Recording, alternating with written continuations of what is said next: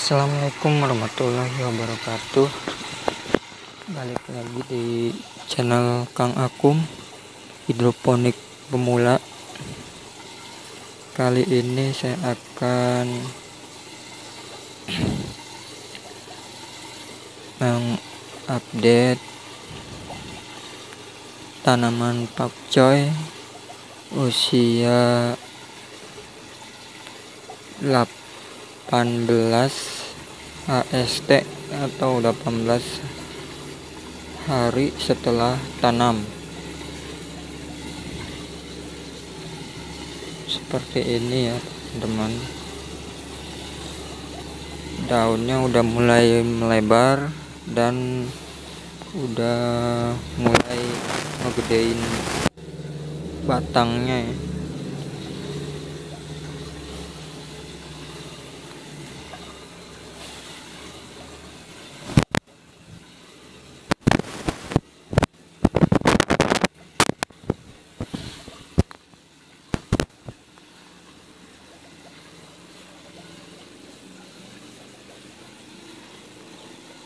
ada juga yang masih kecil nih.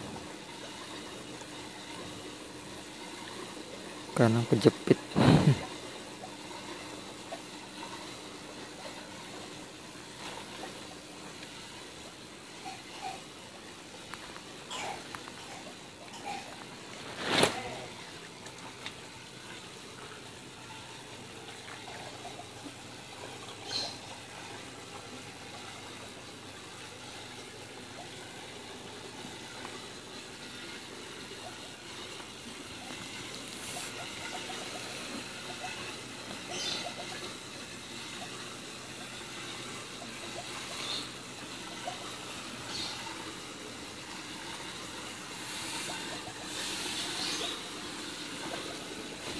sawi pakcai ini saya tanam di instalasi NFT yang menggunakan media talang air kotak yang saya modif. Seperti ini ya. Saya potong. Potongannya ini sebagai tutup dilem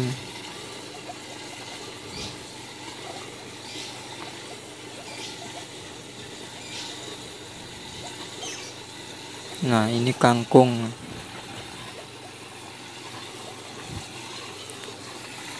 Usianya baru 12 hari nih. Seminggu lagi juga panen kangkungnya nah ini pakcoy lagi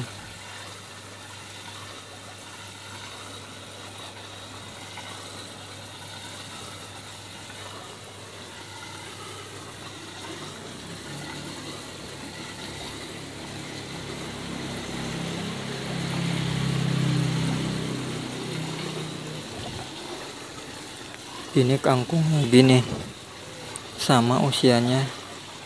Seminggu lagi panen. Ini bayam hijau.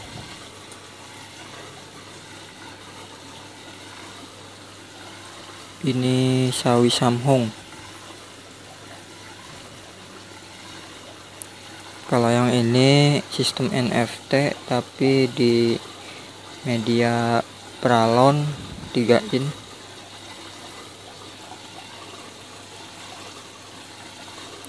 sengaja ya lubangnya dibikin rapat seperti ini. Karena khusus bayam kangkung saya tanam di sini. Ini juga khusus kangkung sebenarnya. Sama yang itu juga sistem rakit apung tanpa pompa. Itu tanpa pompa ya teman-teman usianya itu baru enam hari itu. Enam hari HST enam hari setelah tanam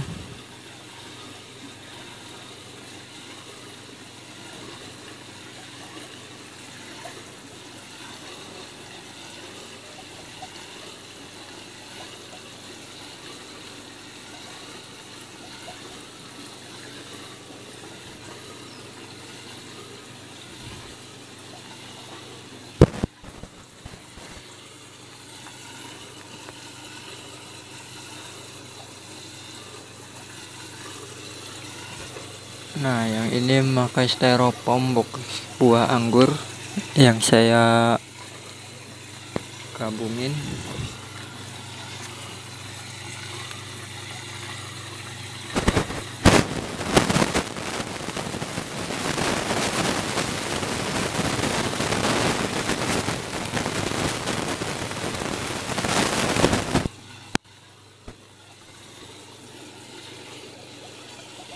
Oke balik lagi ke tanaman pakcoynya yang biasanya saya perhatiin tiap hari ini yang saya pantau itu biasanya hama ya teman-teman. Sawi ini biasanya udah mulai diserang hama nih. Terutama hama yang di balik daun yang hijau itu untuk penanggulangannya sih saya masih manual ya. Karena saya tanpa semprot bahan pestisida saya ambil pakcoynya kemudian saya cuci bagian yang terkena hama itu.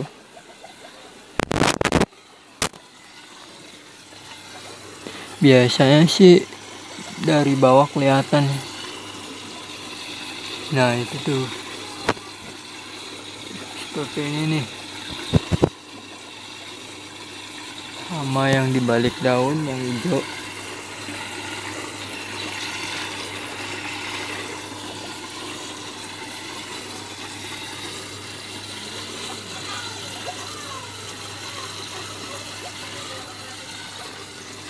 Oke saya dulu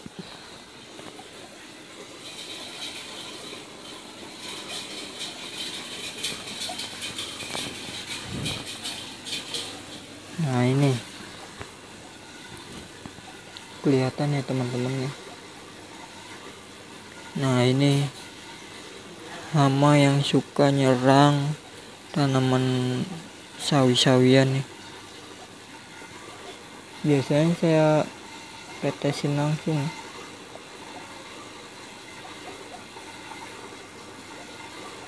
Nah kelihatan kan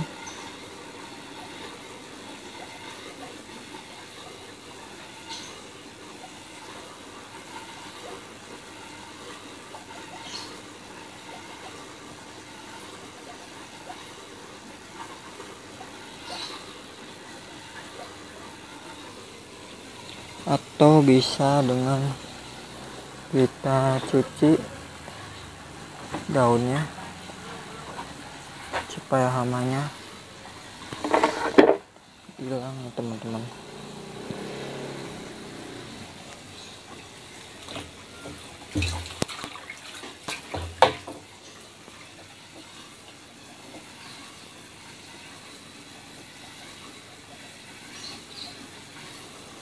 nah setelah hamanya kita bersihkan kemudian kita balikin lagi ke tempatnya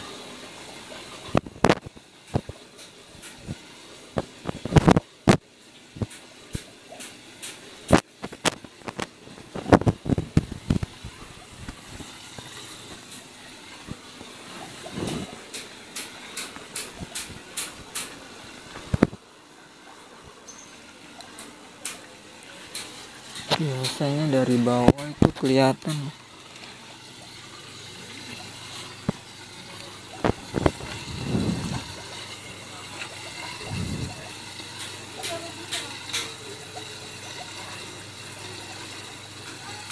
Nah ini nih.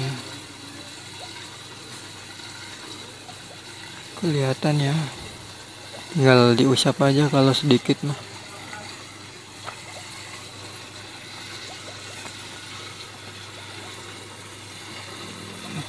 Duh, kelihatan.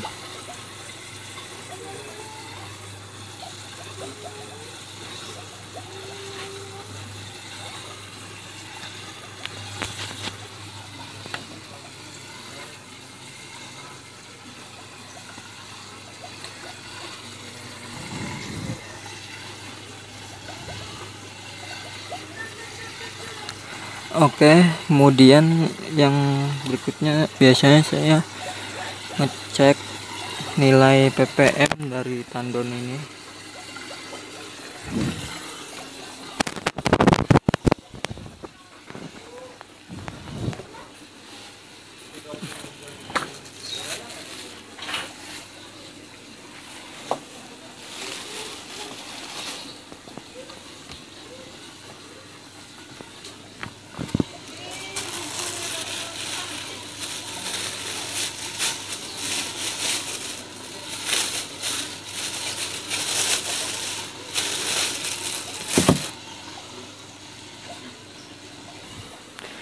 Nah, saya udah menyiapkan alat untuk mengetes ppm meter yaitu TDS meter.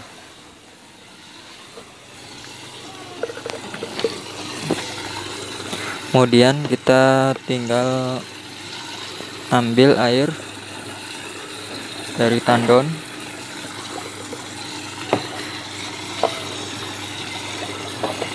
sebagai sampel aja.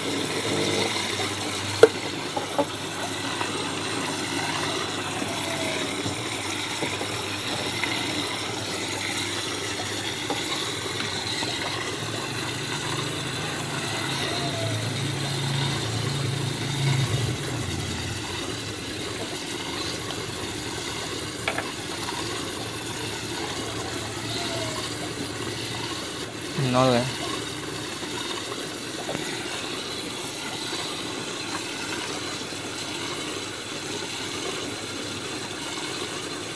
Nah, yang terbaca di sini 850 ppm.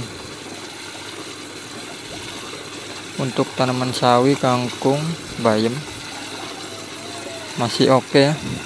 Jadi tidak perlu menambahkan nutrisi lagi.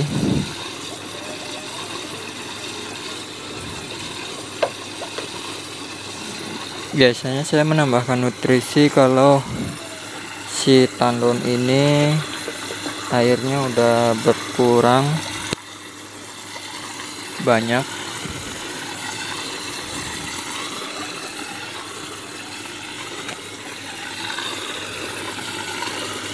Nah ini karena airnya masih penuh nilai ppm nya masih masuk saya tidak perlu menambahkan air ataupun nutrisi abemik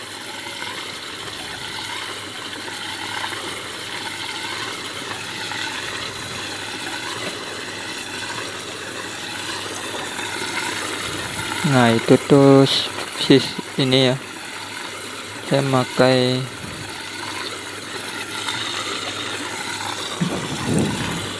T sebagai penturi nih. Biar dalam tandon ini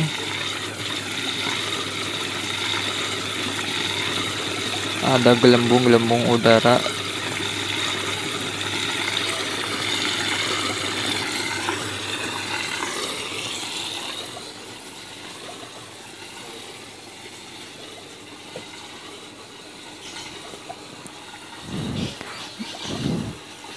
Oke sekian dulu video kali ini.